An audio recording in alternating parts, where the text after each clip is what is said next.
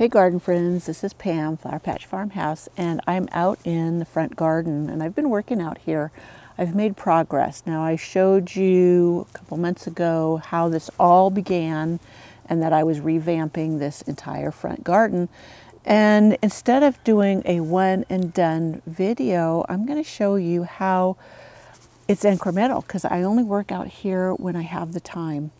And there's other areas of the garden I need to work on at the same time. So um, I just do it when I can. And that's the reality of garden. It's not always a one-shot deal where it's just done.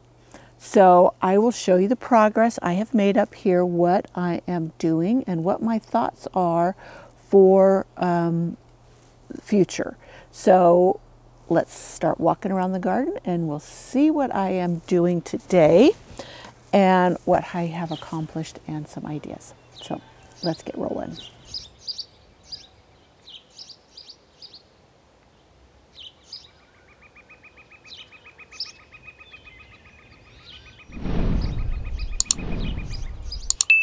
So I'm going to start you back here where you can see the bench. You can see I removed the arbor obelisk. Well, I got one right there, but it's just sitting there temporarily. That fence panel, it was sitting there. I was testing it to see if I liked it back there. I'm not sure that's going to work. So that's why it's sitting there. I have some other ideas that I'm thinking about. But you will notice I have some uh, soaker hoses. These are drip line going. I'm adjusting it. I have it going up to this upper bed. You can see I have um, thinned out some of the plants and I planted a rose right there, right there. And that is a Beverly. It's supposed to get like six feet tall. And so it's pretty hardy and I'm hoping it does well there. And down here are the barrels. These are not actual wood. These are a resin and I had got a bunch of these to put my roses in a couple years ago because of the gophers eating them. Um, I'm getting to the point where I think I'm just going to stick all my roses in the ground. But for this year, um, I'm going to leave them here. I planted some petunias in here. I don't think I videoed that, but uh, I'll look and make sure. But I had a rescue petunia um, that I got at Home Depot. No, I think that was Lowe's. And then some I had bought down at one of my favorite nurseries. That's called Salmon Stripe or uh, Vein. That's what it is, Vein. Sorry. And this one is one of the proven winners, Supertunias, and I can't remember which one it was, but um, like I said, it was a, a save from the bargain rack and it'll come back just fine. I see some of it back there coming through really pretty and it'll blend well with the salmon vein. So here is my rose. That was Glamis Castle. That's a David Austin rose getting started. A lot of my roses, if you watched any of my freeze, the late freeze videos, um, I showed how many of them just really got zapped back. A bunch of e seedling echinaceas that came up of their own volition. I'm not even sure what color they are. I'm going to leave them go, and if they're not a color I want, I will just move them or give them away. I wanted to move this phlox. It's a beautiful pink, and it's growing from underneath the block wall. I was going to take it out of there and try to um, put it somewhere where it can flourish more readily. My other roses in these barrels are really just starting to bloom. Let's move around here. I have Darcy Bussell in here and um, oh, Braith, LD Braithwaite in there. They're both a red, and the LD Braithwaite I have in the ground is right back in there. Now I'm pulling these forward to sit on the block wall. And right there, you see the block wall. And that way I can plant some climbers behind it. This is a climbing rose, and I want it to climb up this. I paused for a car to go by. But I want to climb up this post. That's why I left these posts tall and um, wrap around it. So I'll pillar it, it's called, around that, and it will just be a beautiful support for it. And if I get ambitious and if they do really well, I'm going to suspend a two by four or another one of these posts between these two posts. That's an eight foot span. and then have it climb up over that. So I can dream and see how that works out. The, these two roses in the, this barrel are Hyde Hall, another David Austin rose. These are all recovering somewhat from the freeze. You'll see some of the freeze damage still hasn't been cut off yet right in there. Um, and that will get cut off. I have been um, weeding this area as you can see and I'm not sure what I'll put between the barrels to have some color in there if I just want to mulch it heavily I haven't decided on that yet but I was just getting the drip system set up well this lower bed is getting uh, the drip system set up better and I just seeded it with zinnias. I had the Senorita zinnias, which were the coral color and kind of a cactus uh, bloom. That is what I seeded in here. And all I did was dig up the dirt. I weeded it, dug up, loosened the soil. Um, I added a touch of compost. And then I just seeded heavily. And what I mean, like three every 12 inches, three seeds every 12 inches. And I'm trying to keep them watered in. Um, this today and tomorrow and Sunday, this is a Friday, um, it's going to be quite cool. In fact, I am wearing a long sleeve shirt and a flannel shirt, and it is one o'clock uh, in middle of June. But that's just how weird the weather's been this year. So I think they'll have a chance to get going very well, even though it's a little bit cool. The soil is warm, and that's even more important. So we'll walk around here I planted a Miss Molly buddleia or butterfly bush right there. It's a pretty fuchsia butterfly bush, do really well for me normally. My other one is, you know, taking its time recovering from that late freeze, but a, a lot of things are that normally do really well. I planted a couple of wave petunias down here in this corner and it will drape down the broken wall. This is where we ended the blocks and it's just the, the residual of the rock wall that we replaced still over here. So that will provide some color in here. And this gets uh, plenty of sun from the direction the sun's going. My rhododendron down here has finished blooming. And I've been planting down along here. Here is a dahlia. I don't know what color. All my dahlias got mixed up. I planted my oak leaf hydrangea back here. This gets, it says four to six feet tall.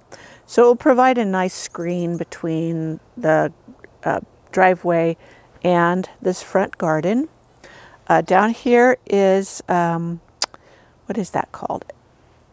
Verba verbascum, and that's the southern charm. It was a real pretty um, orangey, peachy color blooms, and that gets fairly tall too. So hopefully it will take off. It looks like the slugs have attacked it. So um, but the next couple of days of coolish weather, I think it will help it to come through. When it was super hot, it kind of was wilting. I mean, we had been in the upper 80s, and then now it's going to be super cool. My razzleberry fringe flower tree is doing beautifully, and I just planted another dahlia back there behind the bench, and that'll get pretty tall and show over the bench. So I'm moving, I'm getting um, my drip, it's going to line this wall all the way around and be in this bed. This bed still is my next project up here in the front garden. So basically you've got an overview of what I have really been focusing on. Here's this bed. The petunias are starting to fill in. They will completely fill in this bed, this uh, little raised bed, as well as this one over here. And you'll recall that I did the video on saving. This is Olivia Austin Rose, and it's starting to put out new growth. So it's coming along. It's recovering just fine. And it'll do great with the petunias in there. So all kinds of good stuff. This container is going to be moved. I just need my husband to move it because it's so heavy. And I'll put something in it. I planted my banana cream, I think that's banana cream, uh, daisy there Amazing Daisy, something like that, but I'm really enjoying that. It stays shorter. I have a bunch of crazy daisies to get planted, seedlings, and I'm still deciding where to put it. But here are is the other barrel on the other side. And this one has two of the Eglantyne David Austin roses in it. Um, they really took a hit during the freeze too, but I cut them back. And as you can see, there's all kinds of new growth on it. So right here, this is my climbing Eden, which I've, you've seen videos of before with this. It was totally covered in roses this time of year. And it's just starting to put on some roses. I saw one up higher. If I put my camera up there though, it's the sun's coming through. But you can see some buds here. Right here is a bud. So hopefully that's coming in to focus. So anyways, that is getting going. Will just be a later bloom. I'll still get bloom. Um, I do look forward to it this time of year, but you know, this year's been very, very strange. There is my black lace elderberry. It's coming in really well. I was going to move it this past fall and I didn't do it. Um, I'm still debating on that because I did put a rose right back there by the fence. That is um, Queen Elizabeth. That one gets tall as a beautiful pink color. This bed down here, you can see my eryngiums or my sea holly is doing beautifully. It's getting going. Um, these are the ones I think that were seedlings I grew, so I'm not exactly sure how bright of a blue they are. And then other seedlings, you can see some down there, right down there. So this bed is uh, coming along. I think I'm going to put some of my crazy daisies in here. I'm going to seed some zinnias, and I may show that to you in just a moment or I'll do another video. I'm not sure yet. But my irises, that's my pretty Got Milk iris from Sutton's Iris Garden. And this one is two from Iris from the Sutton's Iris Garden. Can't remember what this one's called. Let me look down there. Let me look on the, oh, it's called Social Blush. And I got it because I didn't have a lot of pinks. Sorry, getting up and down is hard for this old lady. but Oh, I see a nice thistle I need to get out of there. And there's my Europeana rose, which it seems like the gophers have not bothered that one. They were bothering others. That's why I dug them up. And this one has stayed here and done fine so far. I am putting out a um, liquid or spray on the soil to deter gophers. And that is made with castor oil. And I think it's working. I just have to continually do it. I bought a whole gallon of the oil, which I dilute with water and a little soap, and then spray it. But back up there, you can see my Kirsten Poulsen rose is coming in. And I'm going to show you, look, this white rose climbing this obelisk is just amazing. I'll walk around the fence so you can see. Hopefully it's not too wobbly on you. Now this is actually a ground cover rose, but I decided to train it up this obelisk. And look at this thing, it is just loaded with white blooms. Just gorgeous. And the deer don't bother this, so I don't know why. Maybe because it is super prickly. So there's my Rozanne hardy geranium. Look how huge that thing's gotten already. That's amazing. And then down here is where I put that one wave petunia that I had let get too dried out and it had wilted and I was afraid I lost it because of my own negligence and it's coming back. I put it here because it will spread like four feet and I thought it would be pretty in this corner. But here's my Kirsten Poulsen rose. It's a single rose. It's a vintage rose too. And um, I've been struggling with powdery mildew this year because of our warm days and very cool nights, which that just accelerates any kind of powdery mildew. But it'll clear up. Uh, there's an iris down there. That's one of my favorite. I call that creamsicle because that's what it looks like. It's starting to fade. So this side of the bed is just looking nice. This is um, woolly thyme and it's putting on its flowers right now. That thing's tough, tougher than nails. And then along here, now this is my, I did the um, Limelight Prime or what is it? What is it? Let me see, what is that called? Yeah, Limelight Prime. And I don't think it made it it had it was coming along just fine and then that late freeze where it dropped to 20 degrees and I think that just really zapped it to death. So that's a huge disappointment that it did not make it through that because you know they're not cheap and um, whoops And I am a frugal gardener, and that was, you know, a big expense for me. Uh, this one is Zinfin Doll, and it's older and been in place longer, and it came through it okay. So I think just that this one down here was newly planted this last fall, and that's why it had a harder time um, coming through that late, late freeze. Here is, this is um, Elsie. This is a hardy geranium, but it stays more small. And I, I, just love this one. Behind it is a vintage rose called Grandmother's Hat. Looks like I need to cut my Elsie back away from it to give my uh, grandmother's hat a little more space there. But I think that's a pretty combo. And this is my other butterfly bush behind this wheelbarrow. You see how it's finally leafing up. It was just bare for the longest time. And um, yeah, it's coming. It probably about a month it will be taller than me and full of beautiful blooms. Usually it's much further along than it is right now. Now this is the one weed patch I need to get back to.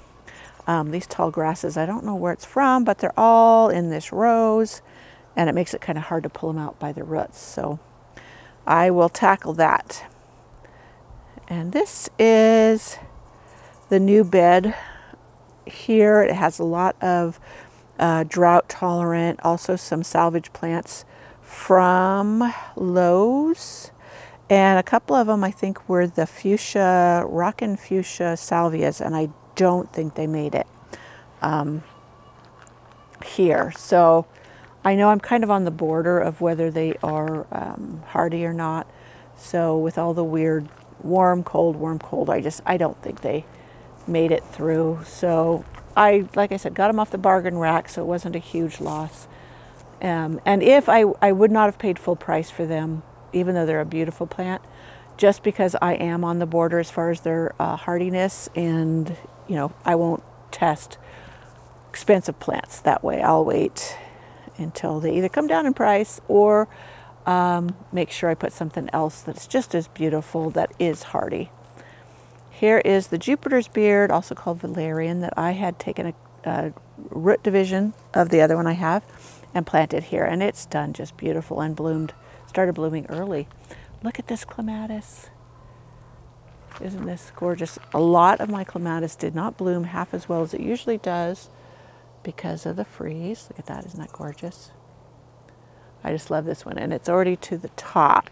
I kind of like them to bloom from the bottom. Um, but I, di I didn't cut this one back like I normally do. This is a zone two or three. I think it's a zone three. I've been trying to go, not zone, I mean uh, pruning uh, category. And that's the ones that you cut all the way to the ground. And, and they do continually bloom, a lot of them, unlike some that only bloom once, which this one on the other side, which you doesn't even, I don't even know if it made it. Um, anyways, is. So I kind of got down the side here. I didn't mean to, but right in there is still a work in progress. Oh, I got to show you my peonies up front. Okay, here we are in front of the porch. This is where I'm starting to put in the gravel garden. I already got sand down on top of the uh, cardboard. This peony is done. It didn't do that great. Um, I think it's competing with, this is a um, Bo Bobo hydrangea. And um, it's doing better this year than it has ever. This is the fourth year. Um, but I gave them a hard prune last fall. And that might be why it's just looking better than they ever have. It's filling out, um, even though we did have drought. This one is, I think, um, Peony Maxima. It's got it's white with the little red speckles in it. And I don't know, um, this one's been here a few years, but I think this is not a really good area for them. Um, but because it doesn't get a lot of sun in the summer over here. This one, Bowl of Beauty, is so pretty right now. Doing great. I don't think I have a, I didn't, I didn't uh, put a support around this one, but it's still doing pretty good. Um, and then this one is just finished. This one was really pretty. This one did bloomed first. You could see it had quite a few blooms and I had the support really worked well, keeping the blooms upright when we had a late rain. So I need to trim them all off. And um, it'll just stay pretty and green the rest of the season. And hopefully my Bobos will do much better this year than they have. Um, I have the drip system set up. I'm going to mulch really heavy in here so it keeps moisture in the soil. And we can hope for the best. But look at this. Look at this clematis. That is as big as my hand. That thing's huge. I thought this one was Killian Donahue, but I'm not sure anymore. And the other one on the other side over here is, I'm pretty sure, Nelly Moser. And I need to, to deadhead it and cut it back just a little bit. It will bloom again up here, so I'm not going to cut that part back, but um, what's bloomed down below I will deadhead. So I still got to tackle all of that mess right there. And as I said, the grass that's in the roses there. But that is the front garden right now in progress. As I said, it takes me a while to get things to the finish line. Now, I have really been impressed with these dianthus. These are a perennial dianthus. Um, I got these two off of a bargain rack, and I'm not really sure which ones they are, but I can divide them. I was thinking of putting them all along here and I think that would be pretty when the irises aren't blooming, the dianthus would be. So that's so far what I'm thinking of. I had thought of putting petunias here, but I'd have to plant petunias every year. Not that that's a bad thing, but maybe I want to make things a little bit easier or a little less uh, labor intensive because I have a lot of garden areas that I'm working on. Oh, and my fountain. Here we go. I've started to get the rock down here. I will spread these out a little bit and in between I'll have pebbles, uh, gravel, and I also will plant, I have a bunch more um, sempervivums to put down in here. I don't know where it cut it off, but I am planning on doing a, a stepping stone here, which I have sitting, let me move you up there, right there. So that stepping stone is going to be there and it's going to be surrounded with the gravel and rocks and the sempervivums and sedums. Like right over there, that's um, actually a thyme. This is elfin thyme right there. And then I can service the little pond here that my nephews dug for me. And you can see, actually have a little lily, um, water lily in there. You can see the leaves right there. Shockingly, that lives through the winter and has done just fine. So, yeah, this area is still in the process of getting cleaned up. So that, my friends, is the update on the front garden and the progress that I have made. Um, the last video I did that I showed the front garden, I think was uh, June 7th. This is the 17th so about 10 days ago so you can you can test the difference or check it. And I'll put the link for that video in the description box below. So what have you guys been working on in your garden? And has the weather in your neck of the woods been as weird here? We haven't had the heat wave that others have experienced. We'll have a day here and there that's pretty hot um, but like I said this weekend the high is going to be 61 the low tonight's going to be 38 so that's pretty crazy for mid June. And then all of next week is going to be in the 80s, maybe even close to 90. So uh, my garden just will have to adapt, I guess. I'll keep it watered when it's hot. But I think this weekend's a really good time to get a lot of my things put in the ground so it has a day or two to adapt before it gets hit with the real hot summer weather. And I do still have a lot of things to put in the ground. I am way behind and or I started way too many plants, but it is what it is. So I hope to see you in the next video.